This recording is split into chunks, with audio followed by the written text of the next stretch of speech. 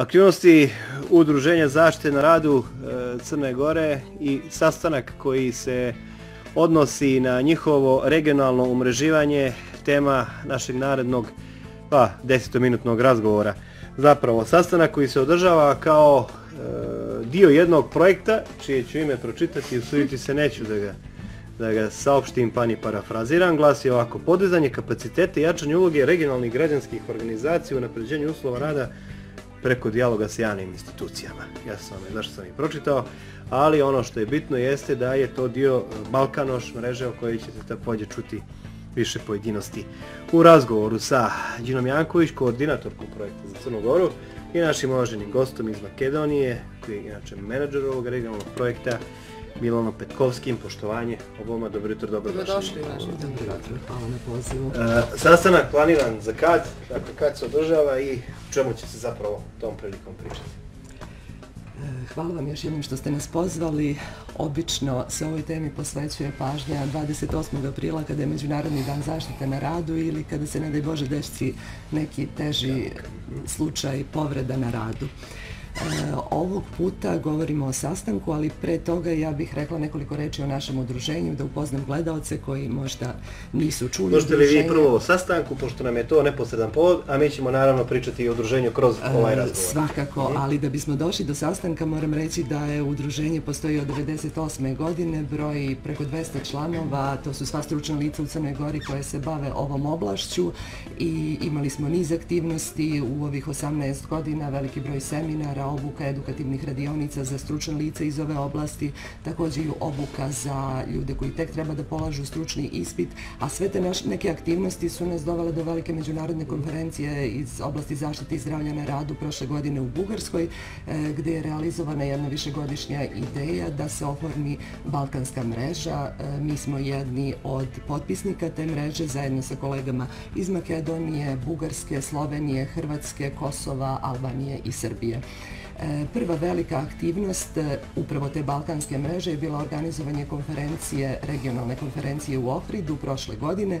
Mi smo bili jedni od učesnika i organizatora te konferencije i cilj je da se jedna takva regionalna konferencija organizuje e, svake narodne, naredne godine u jednoj od država članica. Ove godine pripremamo konferenciju u Sloveniji u novembru mesecu, a plan nam je i cilj da Crna Gora bude domaćin ovakve regionalne konferencije sledeće godine. Mi smo o tome planirali da govorimo malo opširnije, a pošto nam vi sad to sve pre prepričali, onda ćete dobiti manje vremena kasnije. Svakako. Možemo li preći konačno na sastanak? Apsolutno, apsolutno, ali moram vam reći da je upravo formiranje Balkanske mreže došlo do, eh, dovelo do pripreme i realizacije jednog ovakvog projekta, pošto mi stavljamo fokus na kreiranje preventivne kulture, eh, tako da je došlo do i profesionalizacije svakako ljudi koji se bave ovom oblašću. Eh, prvi iskorak veliki smo napravili početkom ove godine kad smo pripremili zajedno sa kolegama iz Makedonije i ovih drugih država članica Balkanske mreže. Ovo je veliki regionalni projekat koji finansira Evropska unija i realizacija je počela 1. februara, a prva aktivnost u Crnoj Gori je sutra.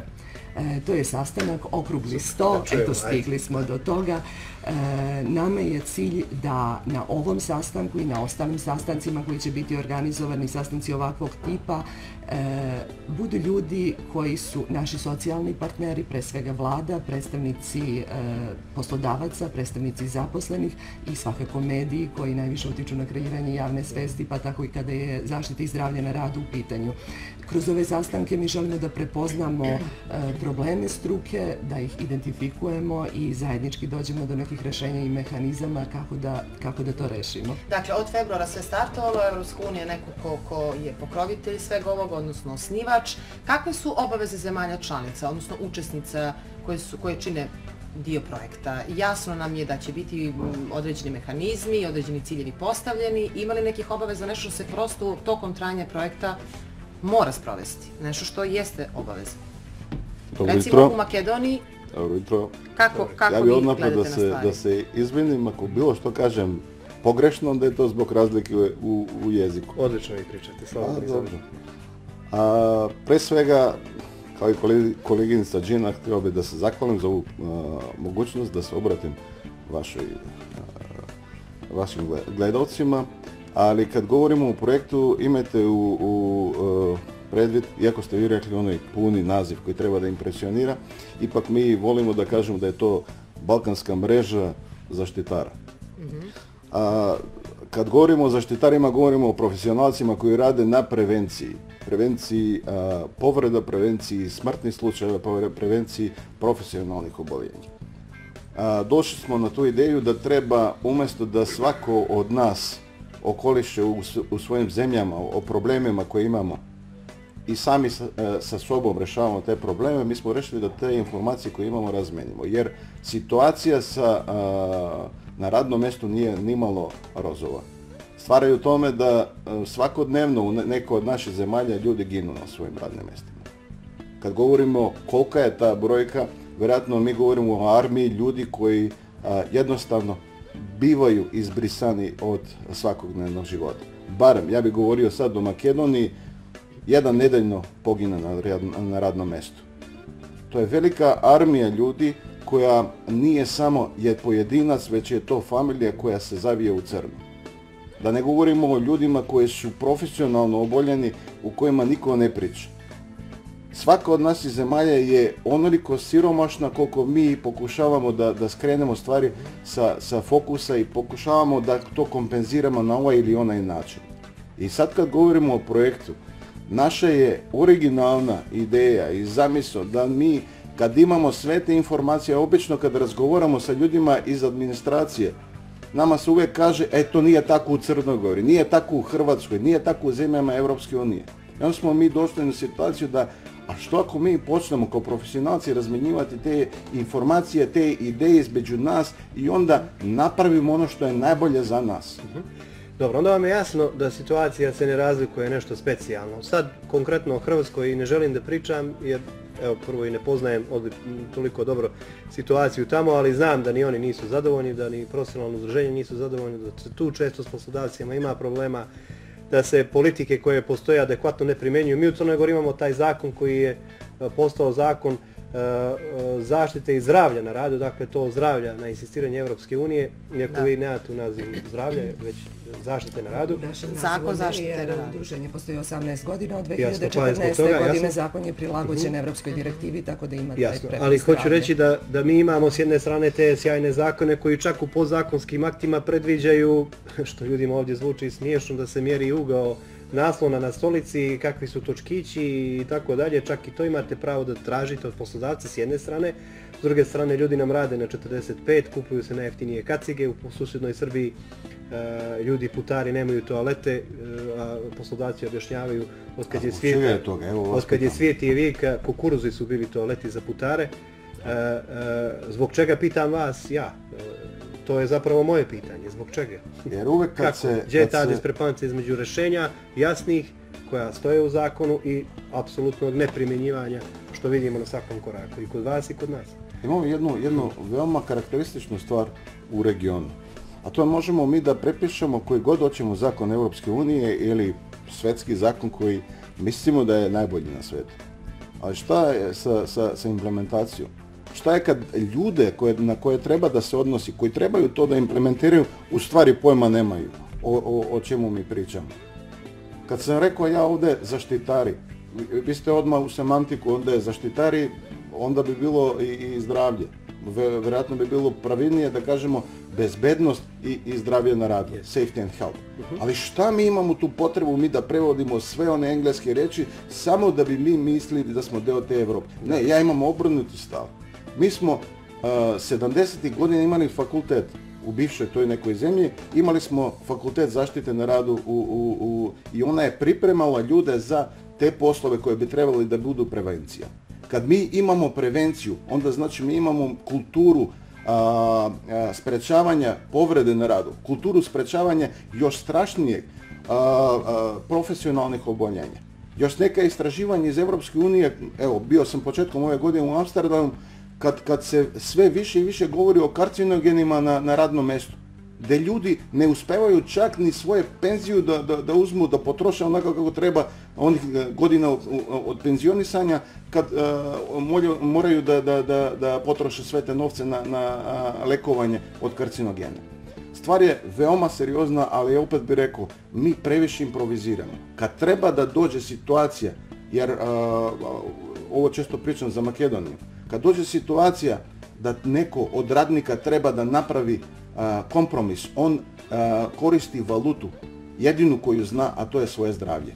Kad dođete vi vaše zdravlje da stavite na, na, na, na tas, na kantar, da a, zadržite svoj posao i onda da, da a, odradite to, onda vi ste svakako gubili. Dobro, šta će onda promijeniti ovaj projekat? Vi ćete uporediti Evo. iskustva, vidjeti kakva je situacija u ovom području Balkana. Možda se konsultovati, odnosno sigurno konsultovati sa institucijama sistema. Oni će dati neki svoj predlog.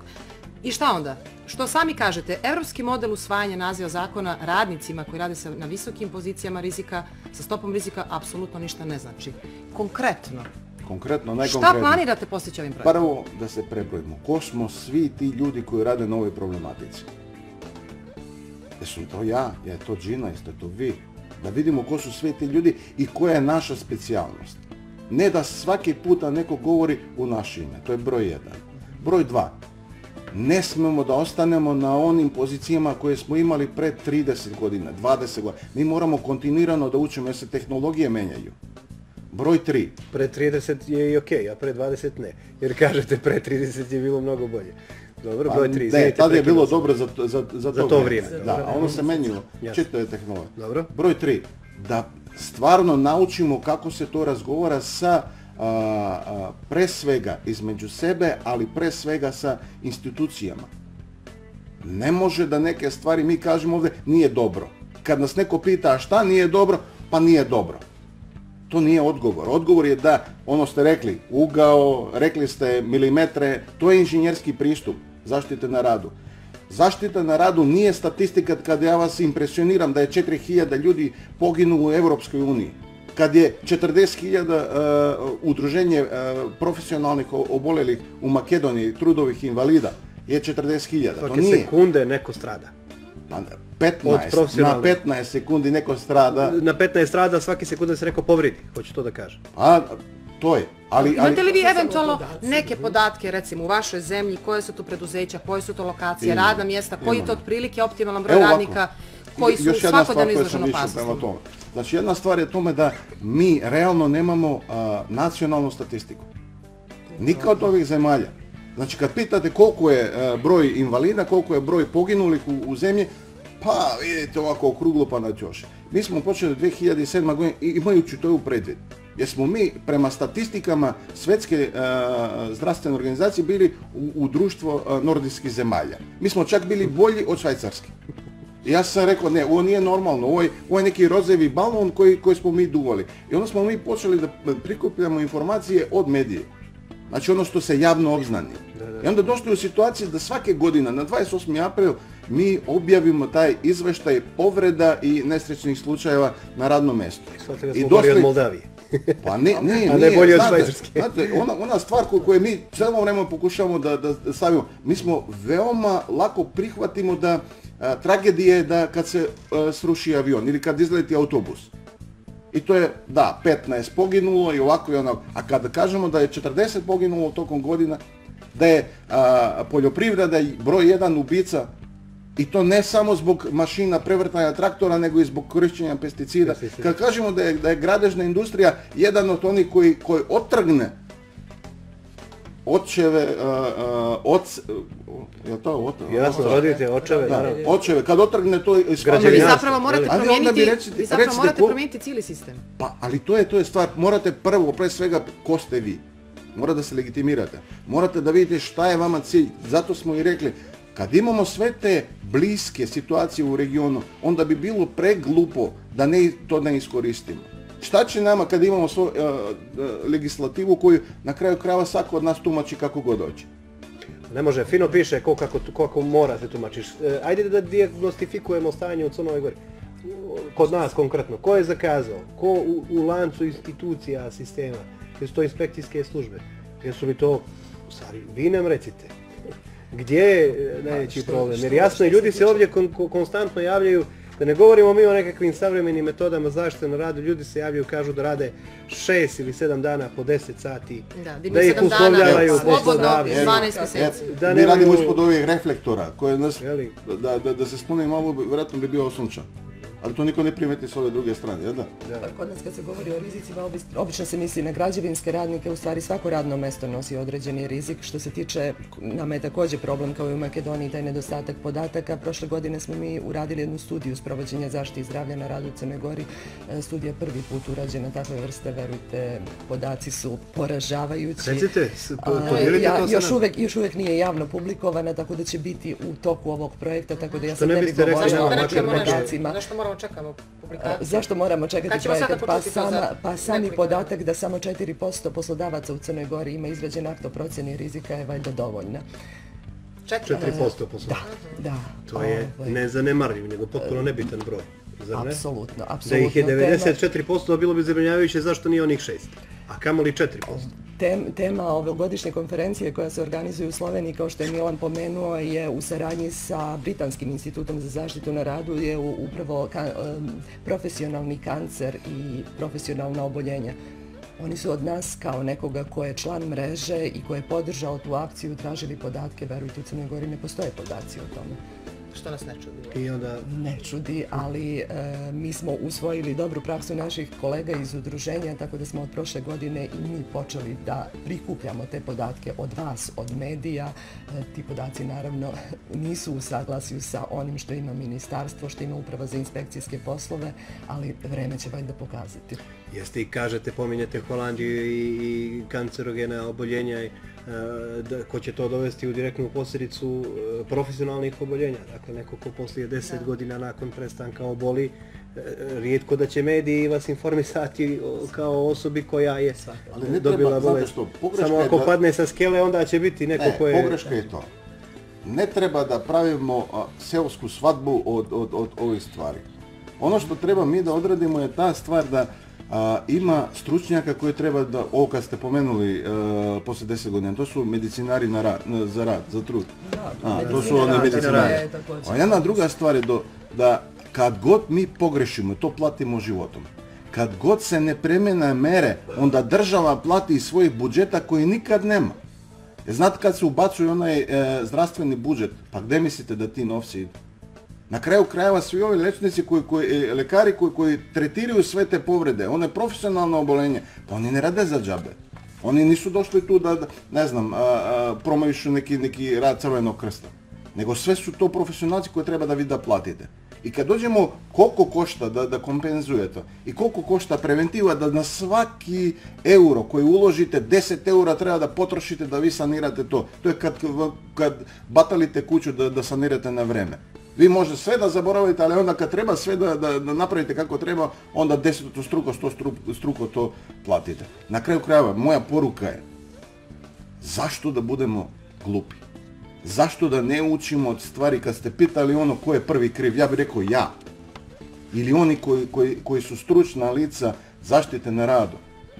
Oni koji se predstavljaju da su stručna lica zaštite na radu samo da bi napravili pro forma neku, ne, neki dokument i vama gurnuli e, da, da vi to platite. Nije to zaštita na radu. To je, to je e, e daktilografije. Zaštita na rad je kad vi dođete i savjetujete vašeg poslodavca kako sve to treba da odradi, na kraju krajeva zbog njegove koristi i zbog koristi ljudi koji rade I da ga kaznite kraju- ukoliko na terenu na kraju vidite da ima zbog propusta. države jer čuva budžet države. A ono što treba da kazni, to je zadnja opcija. Zadnja. Inspektorat, I svakako da treba da bude inspektorat poslednja, ali je ne taj koji kažnjava. Da. Ali prvo treba da educira. Jasno. Tako je. Promjena Nikome, na zapadu ne pada na pamet da dođe do te kazne, oni su odavno shvatili da je bolesna nacija najskuplja nacija. Da. Apsolutno. I to na mikroprimjerima su shvatili. Zdrav zaposleni, Tako produktivan zaposleni, samo ne jedan zato što, poslodavac što, može što, imati što nas vole Da. sistem, odnosno e, Činjenica. već zato što mu trebamo zdravi, jel? I to je logično. Za kraj još jedno kažemo kada će gdje biti održan sastanak. Sastanak je sutra u 10 časova, hotelu Terminus, ulica Mitra Bakića. Hvala i srećno. Želimo vam srećno na tom putu. Hvala, Hvala mnogo. hvala vam na pozivu.